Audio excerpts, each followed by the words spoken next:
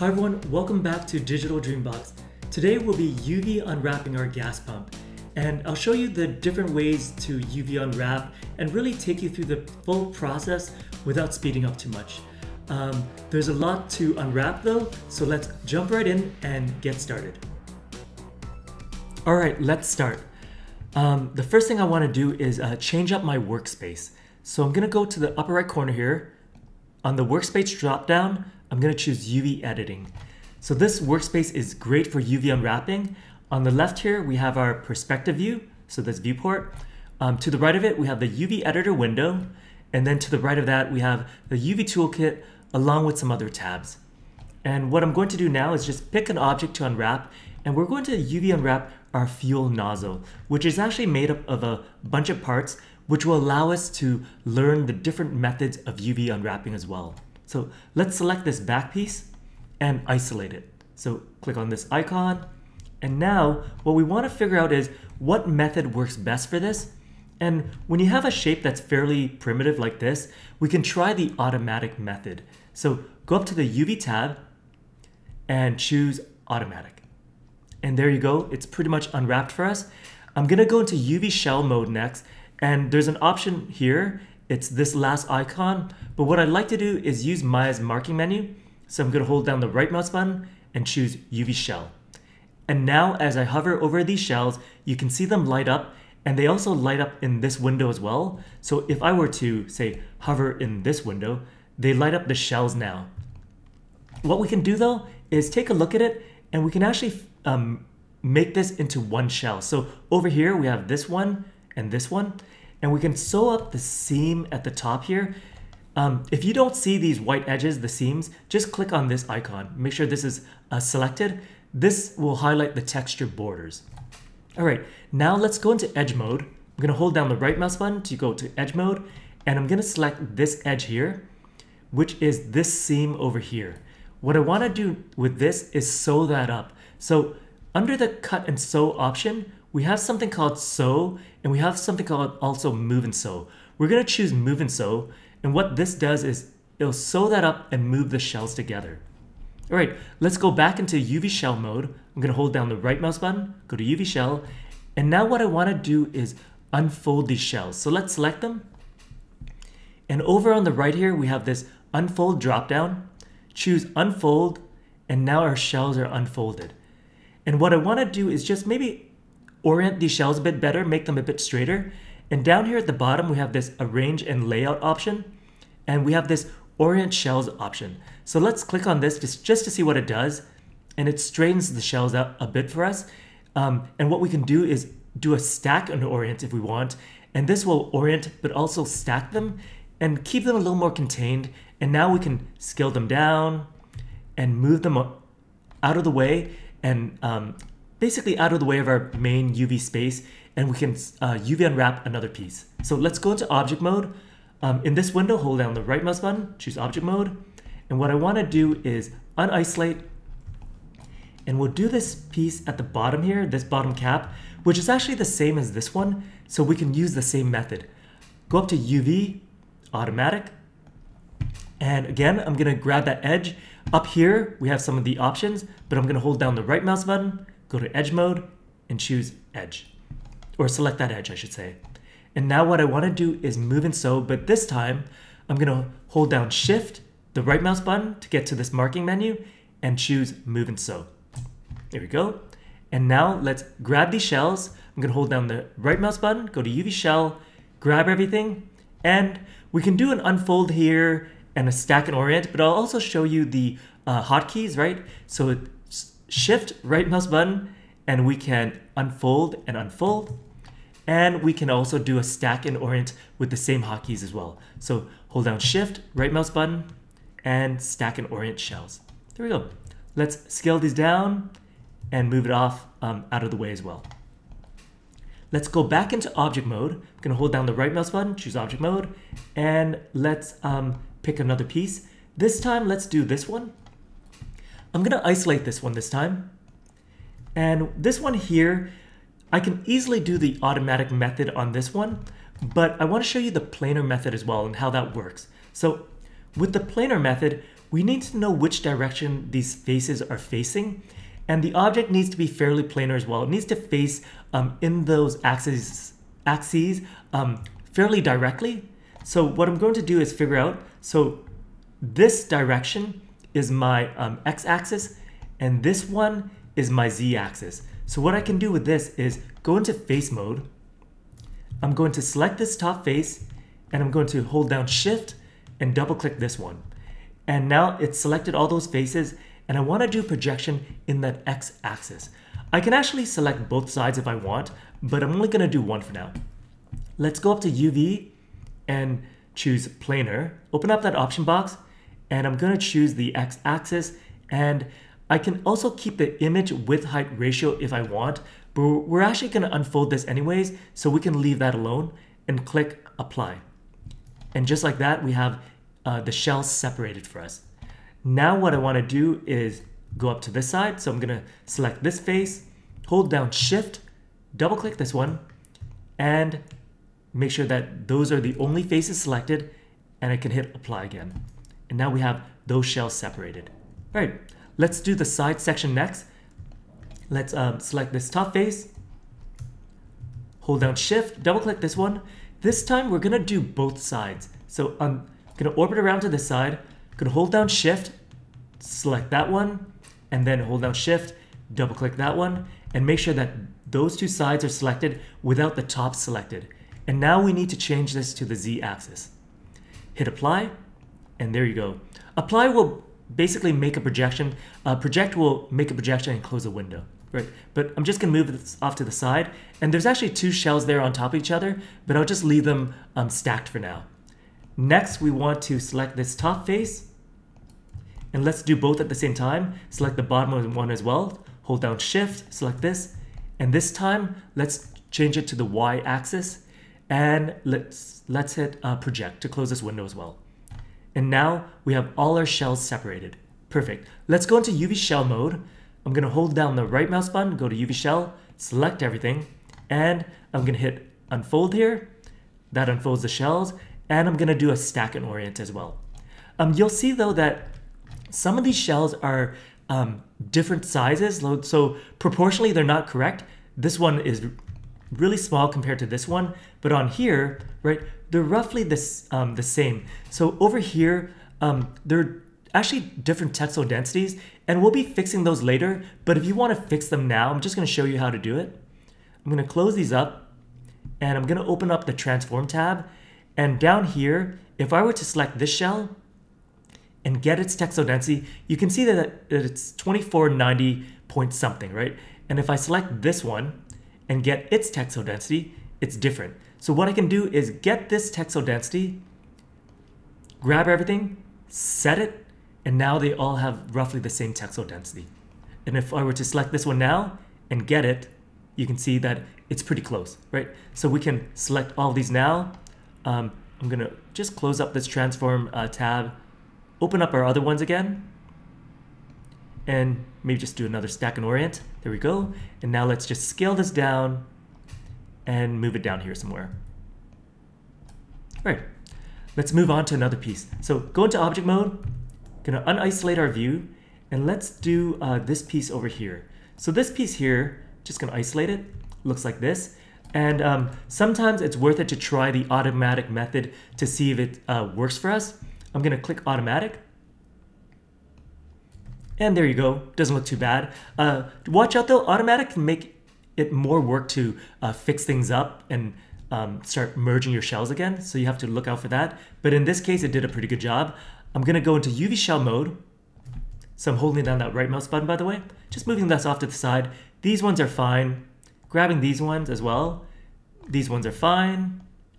But um, in this window, as I hover over these shells, you can see that this one, this one, and this one could be its own shell. So let's um, sew up some of those edges. So I'm gonna hold down the right mouse button to go to edge mode. And over here, I'm gonna select this edge. And I can actually do both at the same time. So let's hold down shift, select this one as well. So we have both of those selected. And in this window, let's move and sew those. So hold down shift, right mouse button, move and sew. All right, you can also get to it from up here again. Um, great. Let's um, now let's do this piece. I'm gonna go into UV shell and move this aside though. Now we have this one, and I want to go into edge mode, and over here, um, I want to sew up this edge and this one, and make it one piece. So um, let's grab this edge, hold down Shift, select this one. What you can also do as you're working in this window is you can do one at a time and press G to repeat. And sometimes that's fast too. So in this section, let's move and sew this. I'm gonna hold down Shift, right mouse button, move and sew. And then I'm gonna select this edge and press G to repeat. There you go. And now let's just um, work on this area. Let's go into UV shell mode and figure out which one these are, right? You can see them highlighting. So we have a shell here and um, over here we have this shell as well. So let's sew this up. We could sew this to the this front area or this back piece if we want. Let's go into edge mode. Gonna hold down the right mouse button, just changing to edge mode. Gonna select that edge and might as well do this one as well. Gonna hold down shift, select that one, and in this window, let's move and sew that. I'm gonna hold down shift, right mouse button, move and sew. There you go. And now we have these pieces. Um, over here on this shell, let's take a look we have this one. And you can see that this one here, this um, section in the middle, let's let me just go to face mode for a second. These three faces extrude in a little bit, and you might want that to unfold a bit better. So let's separate that. So let's go into edge mode. I'm gonna select this edge, which is this one, and now let's cut that edge. And sometimes you'll wanna do that for your shells. So let's go up to here to cut and sew, and you have a cut option. Or what you can do is select this edge and hold down shift, right mouse button, cut. And now if we go into UV shell mode, this has been separated for us, right? And the nice thing is we can even sew this piece in there up to it. So I'm gonna go into edge mode, grab this edge and do a move and sew. And there you go. That part is separated and it's been uh, merged together. And now we have these shells, which are down here and I'm just gonna go into edge mode. There we go, just zoom in. And what I wanna do is sew up three of the edges in there. So hang on for a second, having trouble zooming in. I'm gonna select this edge, just frame in on it, and then that way it's um, located a bit better. And then over here, I'm gonna hold down shift and select that one. And then I'm gonna orbit around to here, um, hold down shift, and select this one. I want to leave one of them cut though, because I want it to um, unfold as well. So in this window, let's move and sew that. Hold down shift, right mouse button, move and sew. And now we have our, our um, that piece um, connected now. Let's go into UV shell mode. So hold down the right mouse button, UV shell, grab everything, and let's um, unfold these. So hold down shift, right mouse button, unfold, unfold. And let's also do a stack and orient. We can do this option down here or shift right mouse button, stack and orient shells. There you go. Let's scale this down and move it off to the side. And now let's unisolate our view and I'm gonna go into object mode and I wanna do this piece next. So this piece, um, we're gonna do a different method. Let's isolate it. We're gonna use um, Maya's 3D cut and sew tool. It's down here. Um, the first thing we need to do for this though, um, if we want to use this tool, is we need a projection. So go to camera base and click that. And now what we have is a, a projection based on what the camera is seeing in this viewport. Here you go. And now let's go into object mode, select it, and I'm gonna choose the 3D cut and sew tool. And I'll show you how this works. If I double click an edge, it'll cut along that edge right? That edge loop, provided you know you have pretty clean topology with quads. If I hold down Control and double click, um, it'll sew that back up. If I click and drag, it'll add cuts along where I'm dragging. And if I hold down Control and click and drag, it'll sew that back up. That's all there is to it. Very simple. And now what we want to do is cut and separate where we want our shells to separate. So I'm going to double click here, double click here, here, and here. And then along this pipe section, just need to zoom in a bit. Along this uh, pipe section, I want to double click here. And when you double click and um, it adds a cut. Usually it stops at the intersection where the next uh, cuts are. So in our case it did, which is awesome. Sometimes it doesn't, so watch out for that. And then over here, what I wanna do is click and drag. So I cut there, so we can separate this side section. And over here on the main body, I wanted to uh, unfold along here. So I'm gonna double click there and double click there. And now we have cuts all there and we should ha have everything we need. Let's press Q to go to our select tool. And over in this window, let's go to UV shell mode. There we go. And now, as, as I hover over these, you can see that they're separate. So if I were to select one of these and move it, it's all separated for us. And now what we can do is select everything and unfold these. Click unfold, and there you go. It's unfolded. And then what we want to do is um, maybe um, separate these a bit to make sure that they're properly cut and separated. So what I usually do when I'm using this method is I'll do a stack and orient and then I'll unstack them so I can see whether the shells have been um, properly cut. Um, you can see that they are, but this shell, if you look, could be a little bit straighter. And what we can do is straighten these UVs. So when you have edges running pretty cleanly horizontally and vertically, you can straighten these UVs. Just click this button here and you can see now that it's straight. Awesome. Let's select everything. I'll leave it as is and I'll just scale it down and move it off to the side somewhere down here. Uh, let's go into object mode again and I'm going to unisolate our view and we have um, this piece here. Let's do the same method for this one just to get a bit of practice. Um, let's isolate it and here we go. Let's do um, first our projection. Let's go to UV, camera base, now we have our projection. Let's go into object mode. We'll grab our tool. The last tool we used was the 3D cut and sew tool. So it's over here. Let's select it. And now let's add some cuts. So I'm gonna double click here, double click here. You can see how fast and powerful this tool is. It's one of my favorite tools in Maya to tell you the truth. I'm gonna double click here. I'm gonna separate here as well. And at this, this front section, I wanted to separate right here. So I'm going to double click there and over here, I needed to separate here and here.